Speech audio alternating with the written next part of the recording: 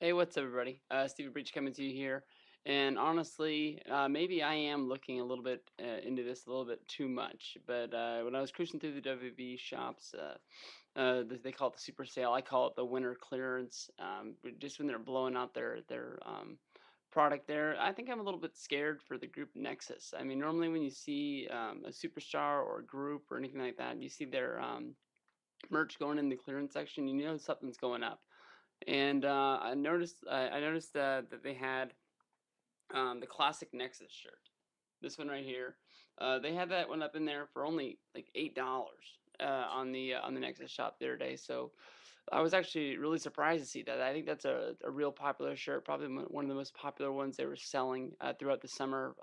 They probably sold more Cena orange and purple ones than the Nexus shirt, maybe. But besides that, I think it was the most popular shirt that they were selling like crazy, like bananas out of there. And yeah, they did come out with a new shirt, which is this one that I unboxed yesterday. But I was still surprised to see the, the classic Nexus shirt. I, I see the classic Nexus shirt turning out to be what the um, classic NWO shirt is. You know, it's, it's a hard to find shirt today. No one really wants to get rid of it if anybody has it.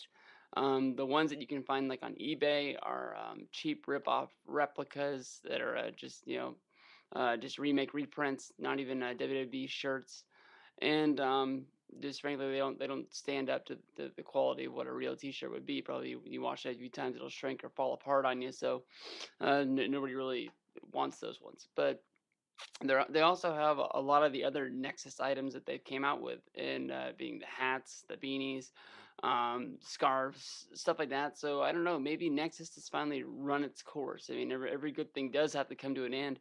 But I feel bad for these guys, just mostly because I think Wade Barrett can stand alone right now as the main eventer on his own, uh, if he has to. But I feel I feel bad for the guys that um, you know just being in the group uh, makes them guys like uh, Otunga, who I think does have a future in the WWE, but he um, just isn't there now. And I think if you let him on his own, I think that he will crash and fail. I think that, that he will not um, reach the peak that he could if you keep, uh, you know, you keep him out there. He's a little bit too green. Justin Gabriel, he's got one good move, but I mean, can he put on a good match on his own? But the other guys, Heath Slater, we haven't really seen anything out of at all. I mean, he had the one standout performance at SummerSlam where he made I believe he eliminated two of the WWE's superstars um, in less than a few minutes. I would think I thought that was really surprised. I guess to me that made uh, made it seem like WWE saw something in this guy maybe that everybody else didn't see.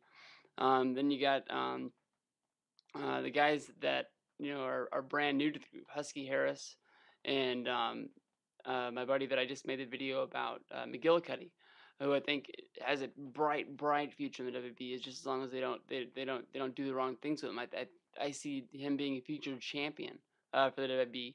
Um, but I, I I just think this group as a whole is feared. It, you know, it can main event any show, any pay per view out there. Um, but uh, as singles out there, I don't even know if a lot of these guys out there are mid card status. I think a lot of these guys. Um, look what what's happened to Darren Young, who's still on the Raw roster.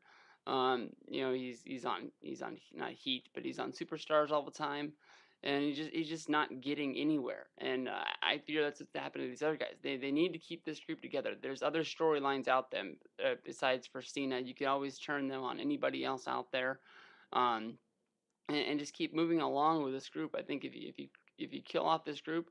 Uh, WWE is going to be searching for a big um, storyline out there that uh, is going to be hard to reach. I think Nexus is, is the, one of the best things going. It is um, getting a little stale with the scene but uh, honestly, you can just move it on to, to somebody else. And um, hell, you can even switch brands with it, push them over on SmackDown, and it'd be like it's a, it's a whole brand new thing.